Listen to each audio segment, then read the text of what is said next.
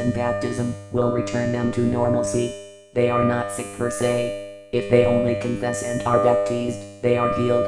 The same thing happens with those in prison. If they confess their sins and are baptized, they will gain their release, because they are kept there as a result of their sins. If we confess and are baptized, no matter what kind of sickness we suffer, we will be healed. There is no need embarking on any self-help ventures.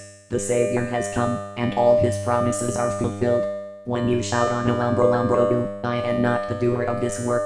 Many people claim to heal, if somebody receives from you two, five, or one thousand naira for doing the work, he is overshadowed with darkness. That is the problem which many people here face. Many people complain there is some secret in brotherhood, but there is no basis for such complaint. Once you confess and you are baptized, your problems are solved.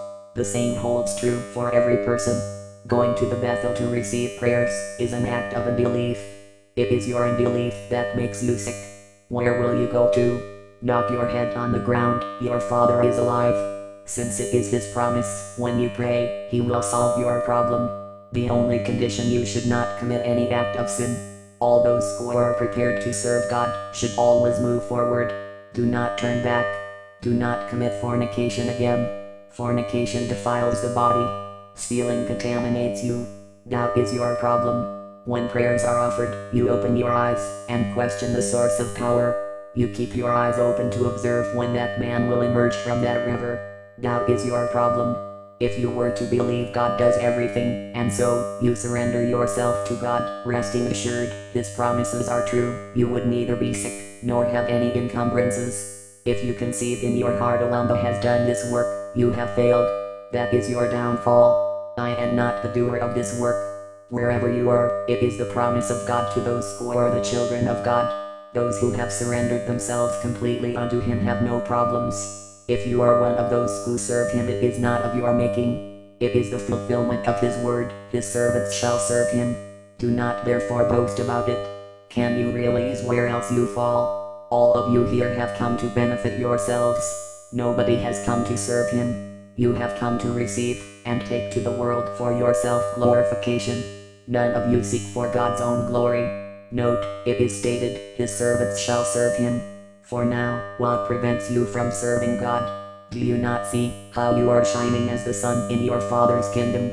This is the time for us to serve and glorify Him. This year, 1987, is a peculiar year because the children of God do great works to uplift the Father's name. It is a given we should do no less than glorify God. Do not seek for your own glory, or for the glory of any other person. Let us all from this year on glorify God. If we do, what prevents us from benefiting from Him? This gospel is given to all the inhabitants of the world, so you may always realize the promise of God. I do not intend to overload you, the second lesson will now be read. Listen attentively so you may hear what He had promised to humanity. Second Bible lesson, Matthew chapter 13 verses 41 to 43. The Son of Man shall send forth his angels, and they shall gather out of his kingdom all things that offend, and them which do iniquity, and shall cast them into a furnace of fire, there shall be wailing and gnashing of teeth. Then shall the righteous shine forth as the sun in the kingdom of their Father. Who hath ears to hear, let him hear. Brethren have you heard that?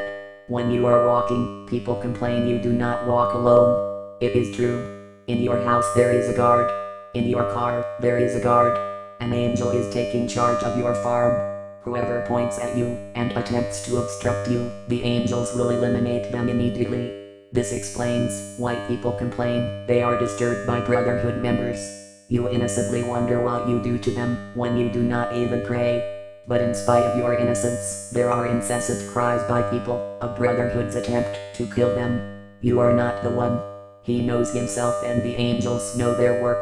You are given guards and for this reason you have no problems. Continue doing good, speaking the truth, pronouncing no curses. Do not lie, nor steal, nor quarrel, nor begrudge anybody, but continue doing whatever good thing that there is, because we have protection. You heard about the Briton, who followed after members of Brotherhood in London, accusing them of worshipping a black man, Brethren arrived at Mill Hill Bethel without responding to his abuses, and he turned back. The brethren did not give any response. That night God revealed himself to the man. Because of this revelation, he now wears white suit on, and more to this, he has resigned his appointment. He is now a full-time missionary, and he claims he has seen the God whom he wanted. All persuasions he should try to continue with his former work proved abortive. He maintains there is virtually no need, because he has seen God. He now serves God with dedication. If you were to hearken to the instructions of God, and not to the flesh, and not be involved in either pronouncing woe on people, or blaspheming the name of God or fighting, but instead, you forsake everything, you will witness the manifestation of God's promise. Our Lord Jesus Christ had promised he would remove all those who sin, all those things that cause offense, and cast them into a furnace of fire. Then the children of God will shine in their Father's kingdom. If a governor, president, commissioner, or other government functionaries have bodyguards, how much more the children of God? For now a good many people, and those who know themselves do not speak evil against brotherhood, neither do they persecute members, because they know the consequence. Except for a foolish person, there is nothing like blasphemy against brotherhood. When you come here with foolishness, your foolishness will live after you. You are true witnesses to all the calumnies against brotherhood, and the work done by our Lord Jesus Christ. It is neither done by Obu, nor by me, nor by you, nor by any other person. He had promised, the Son of Man shall send forth his angels, and they shall gather out of his kingdom all things that do offend, and they which do iniquity. Whoever attempts to hinder a person from the services of God will be confronted by angels. It is not of your making, but it is time to give God the glory. Who hinders you from serving God? Whoever wants to serve God, the way is wide open for them to do so. You are given this as the last warning. If you see any person who wants to serve God, do not hinder him, do not cause any problems for him, so you may not wound yourself. This statement is made by our Lord Jesus Christ to me, and to you, and to all the inhabitants of the world. When you want to hinder your wife, child, or any member of your family who wants to serve God, remember the gospel of today. You, who want to constitute yourself into a stumbling block, so your brother may fall, remember this gospel. You call yourself a brotherhood, but are you not a stumbling block to your own brother? Have you not defamed him? Have you not made trouble with him? In the past you used to complain, God does not react very quickly, but now, he sends his angels to remove immediately everything that offends. Because this is the time, when the righteous has to shine forth as the sun day. The sun does not shine like you. Wherever you go to, your illumination brightens the whole place. If you wear this garment to the market, into a car or two, wherever you go, the people will shake. Brethren, can you not release? right now there is no fear again for the children of God? If you cannot serve God, you have yourself to blame, because there is no stumbling block in the way of serving God. Do not quarrel again with any person. Do not tell lies. Do not take any court action against any person. We all have a right to serve Him. Whoever wants to serve Him is free to do so, because there is no hindrance. Whoever wants to obstruct you from serving God will injure himself. You are not responsible for this. You do not know how it comes about. He alone knows about all. Brethren, we should give glory to Jehovah God and his Christ, because all his words have been fulfilled. People killed Peter and the other prophets of old. They even killed the Christ. And since they cannot do anything to brotherhood, they now say it is not of God. They also say, we are wearing God as a mask. I ask them also to put on God as a mask and do the work we are doing. You can't see, there is no evil thing any person can do, because angels are protecting you. If you tell someone there is nothing in brotherhood, he will not believe you. He maintains there is something. What is there apart from what you are seeing? Brethren, let the golden text be read, so you may realize the fulfillment of the promise of God.